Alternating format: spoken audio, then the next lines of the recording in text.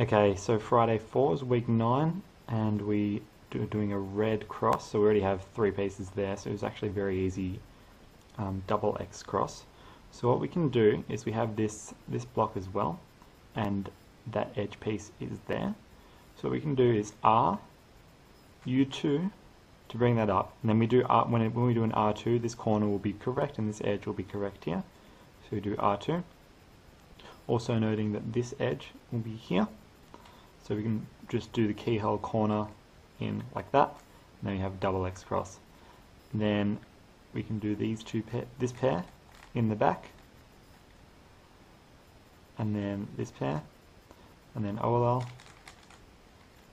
And then PLL.